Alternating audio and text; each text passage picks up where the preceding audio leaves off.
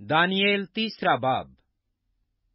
نبوکد نصر بادشاہ نے ایک سونے کی مورت بنوائی، جس کی لمبائی ساٹھ ہاتھ اور چوڑائی چھ ہاتھ تھی، اور اسے دورا کے میدان صوبہ بابل میں نصب کیا۔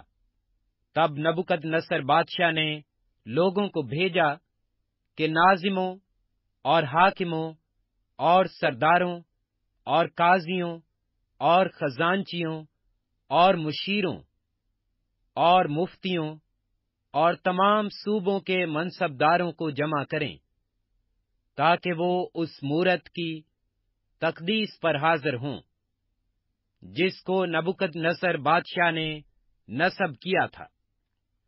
تب نازم اور حاکم، اور سردار اور قاضی، اور خزانچی اور مشیر اور مفتی اور صوبوں کے تمام منصبدار اس مورت کی تقدیس کے لیے جسے نبوکت نصر بادشاہ نے نصب کیا تھا، جمع ہوئے۔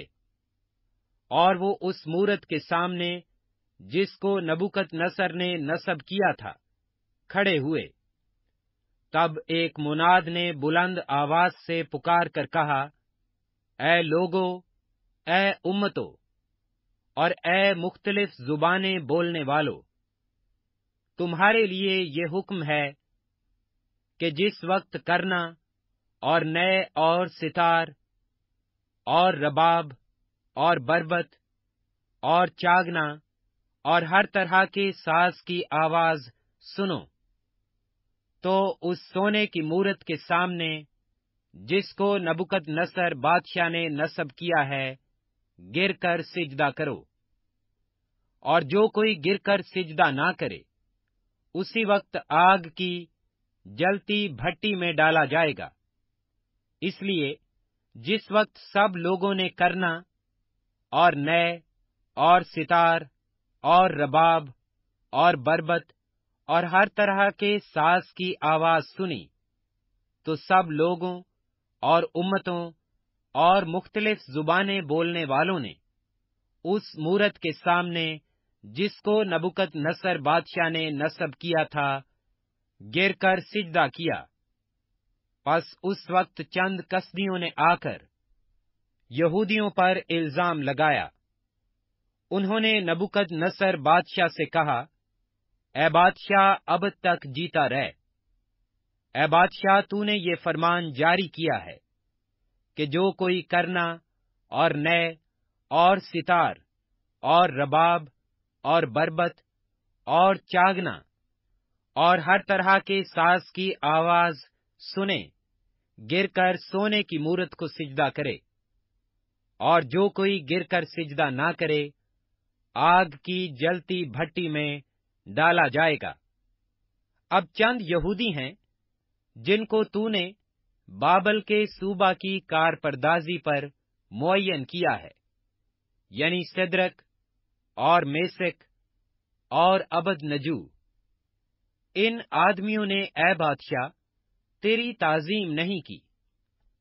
وہ تیرے معبودوں کی عبادت نہیں کرتے اور اس سونے کی مورت کو جسے تو نے نصب کیا، سجدہ نہیں کرتے۔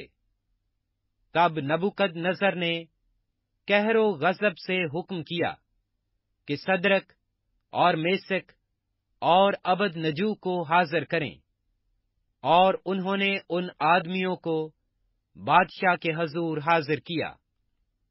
نبوکد نظر نے ان سے کہا، اے سدرک اور میسک اور ابد نجو، کیا یہ سچ ہے کہ تم میرے معبودوں کی عبادت نہیں کرتے ہو؟ اور اس سونے کی مورت کو، جسے میں نے نصب کیا سجدہ نہیں کرتے۔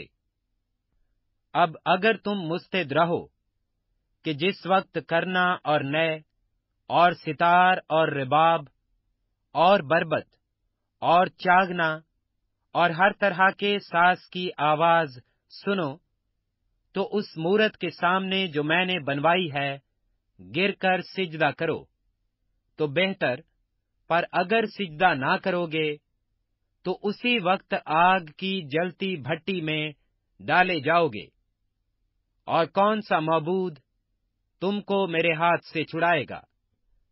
سدرک اور میسک اور ابد نجو نے بادشاہ سے عرض کی کہ اے نبکد نصر اس عمرہ میں ہم تجھے جواب دینا ضروری نہیں سمجھتے۔ دیکھ ہمارا خدا جس کی ہم عبادت کرتے ہیں، ہم کو آگ کی جلتی بھٹی سے چھڑانے کی قدرت رکھتا ہے۔ اور اے بادشاہ، وہی ہم کو تیرے ہاتھ سے چھڑائے گا۔ اور نہیں تو اے بادشاہ، تجھے معلوم ہو کہ ہم تیرے معبودوں کی عبادت نہیں کریں گے۔ اور اس سونے کی مورت کو، جو تو نے نصب کی ہے سجدہ نہیں کریں گے۔ تب نبوکد نصر کہر سے بھر گیا اور اس کے چہرے کا رنگ سدرک اور میسک اور ابد نجو پر مبدل ہوا اور اس نے حکم دیا کہ بھٹی کی آنچ معمول سے سات گنا زیادہ کریں۔ اور اس نے اپنے لشکر کے چند زوراور پہلوانوں کو حکم کیا کہ صدرک اور میسک اور ابد نجو کو باندھ کر آگ کی جلتی بھٹی میں ڈال دیں۔ تب یہ مرد اپنے زیر جاموں کمیزوں اور اماموں سمیت باندھے گئے اور آگ کی جلتی بھٹی میں پھینک دیے گئے۔ پس چونکہ بادشاہ کا حکم تاکیدی تھا اور بھٹی کی آنچ نہایت تیز تھی۔ اس لیے سدرک اور میسک اور ابد نجو کو اٹھانے والے آگ کے شولوں سے ہلاک ہو گئے۔ اور یہ تینوں مرد یعنی سدرک اور میسک اور ابد نجو، بندھے ہوئے آگ کی جلتی بھٹی میں جا پڑے۔ تب نبوکد نصر بادشاہ سراسیما ہو کر جلد اٹھا اور ارکان دولت سے مخاطب ہو کر کہنے لگا، کیا ہم نے تین شخصوں کو بندھوا کر آگ میں نہیں ڈلوایا؟ انہوں نے جواب دیا کہ بادشاہ نے سچ فرمایا ہے۔ اس نے کہا، دیکھو، میں چار شخص آگ میں کھلے پھرتے دیکھتا ہوں اور ان کو کچھ ضرر نہیں پہنچا۔ اور چوتھے کی صورت ایلا زیادہ کیسی ہے؟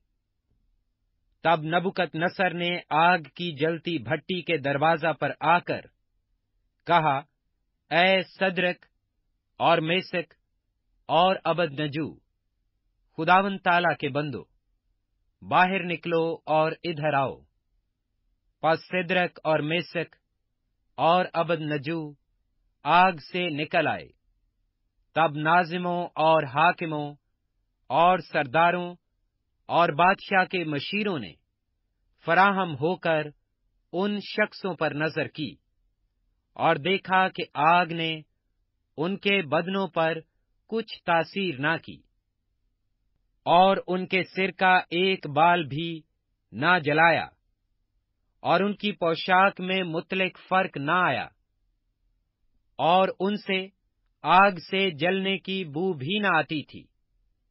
پس نبوکت نصر نے پکار کر کہا کہ صدرک اور میسک اور ابد نجو کا خدا مبارک ہو، جس نے اپنا فرشتہ بھیج کر اپنے بندوں کو رہائی بخشی، جنہوں نے اس پر توکل کر کے بادشاہ کے حکم کو ٹال دیا اور اپنے بدنوں کو نثار کیا کہ اپنے خدا کے سوا کسی دوسرے معبود کی عبادت اور بندگی نہ کریں۔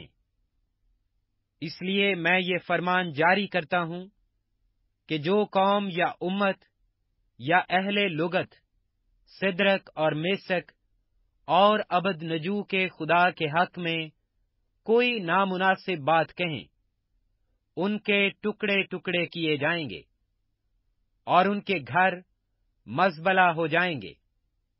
کیونکہ کوئی دوسرا معبود نہیں جو اس طرح رہائی دے سکے۔